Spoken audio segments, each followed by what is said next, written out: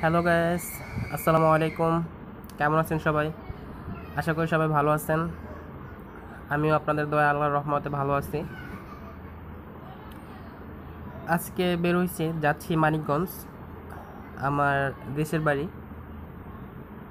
আর এটা আমার first blog so শুরুতেই বলে নিচ্ছি, আমি ভালোভাবে ব্লগ করি না বা করতে পারি না। তো ব্লগে ভুল ত্রুটি হলে বা কোনো আপনাদের কাছে খারাপ লাগলে সেটা অবশ্যই ক্ষমা দৃষ্টি চোখে দেখবেন। আর অবশ্যই আমাকে কমেন্ট করে জানাবেন ভিডিও কেমন লেগেছে। আর কোথাও যদি ইমপ্রুভ করার দরকার থাকে, অবশ্যই অবশ্যই কমেন্ট করে জানাবেন যেটা আমি আপনাদের কমেন্ট থেকেই সেটাকে আমি ইমপ্রুভ করার চেষ্টা করব।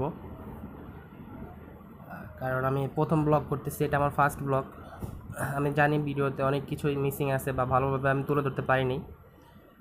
তা ইনশাল্লাহ সবাই দোয়া করবেন, আমি যেন আপনাদেরকে ভালো কিছু উপহার দিতে পারি। আর সবাই ইনশাল্লাহ আমার চ্যানেলের সাথে থাকবেন। মিজানুর রহমান ফাহিম চ্যানেলটা সাবস্ক্রাইব করবেন। আর পাশে থাকা বেল বেল আইকনটা বাজিয়ে দেবেন, যাতে পরবর্তী যে কোনো ভিডিও খুব সহজেই আপনার কাছে পৌঁছে যায় সবার আগে। তো চলেন যাচ্ছি। আমি মিরপুর থেকে বেরোয়েছি মিরপুর, বারোতে আমার বাসা। বাট বের হয়ে জ্যামে পড়ে গেছি এখন জ্যামে এক নম্বর টেকনিক্যালের এখানে এসে জ্যামে পড়ে গেছি। লকডাউন সারছে যার কারণে জ্যামটা বেড়ে গেছে। আসলে গাবতলি এখানে অনেক জ্যাম ছিল, যার কারণে এখান থেকে আর শ্যুট করা হয়নি। গাবতলি থেকে বের হয়ে পড়ছি। এখানে মোটামুটি রাস্তা ফাঁকা আছে। এর জন্য এখান থেকে আবার ভিডিও শ্যুট করতেছি।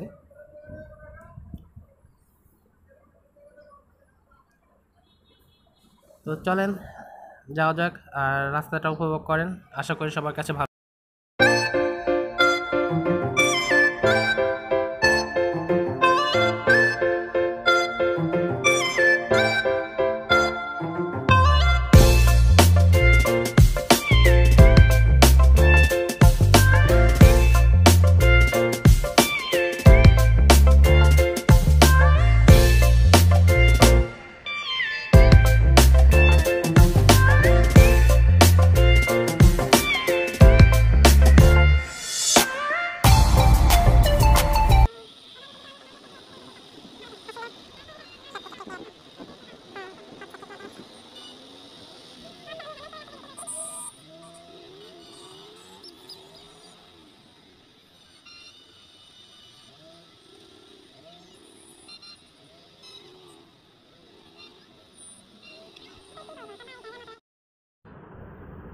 হ্যালো।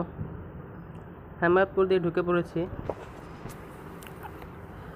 ওই দিক দিয়ে যাইনি, কারণ সাবান নবীনগর ওই দিক দিয়ে যাওয়া যেত বাট ওই দিক দিয়ে হাইওয়ে রোড তো ওই দিক দিয়ে রাস্তায় জ্যাম থাকতো বেশি, আর যাইতে অনেক বেশি টাইম লাগতো।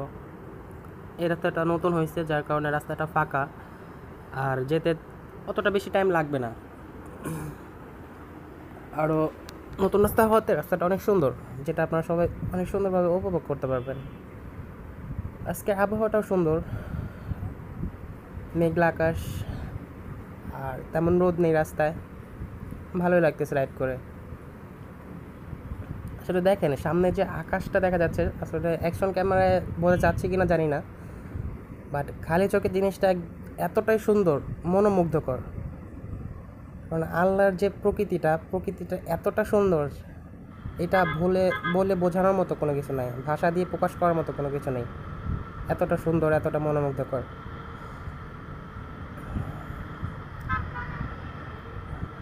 যাই হোক, চলেন যাচ্ছি।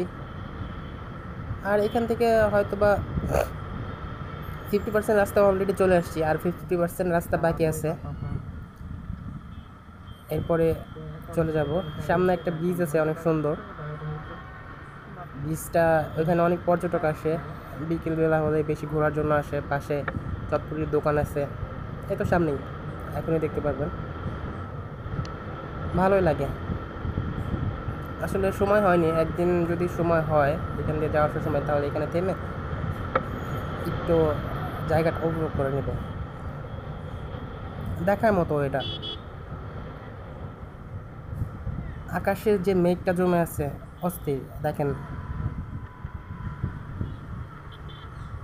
ব্রিজের ব্রিজের নিচ দিয়ে পানি উপরে আকাশে মেঘ।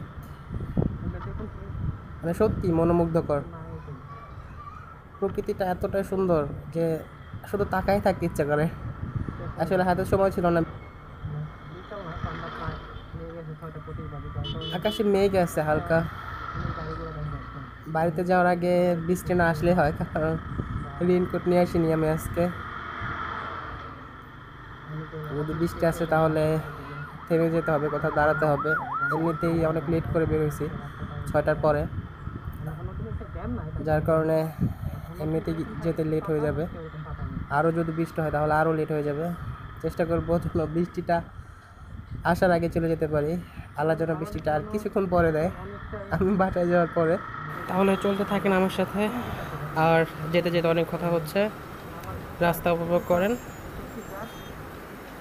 চলতে থাকেন মিজানুর রহমান ফাহিম এই চ্যানেলের সাথে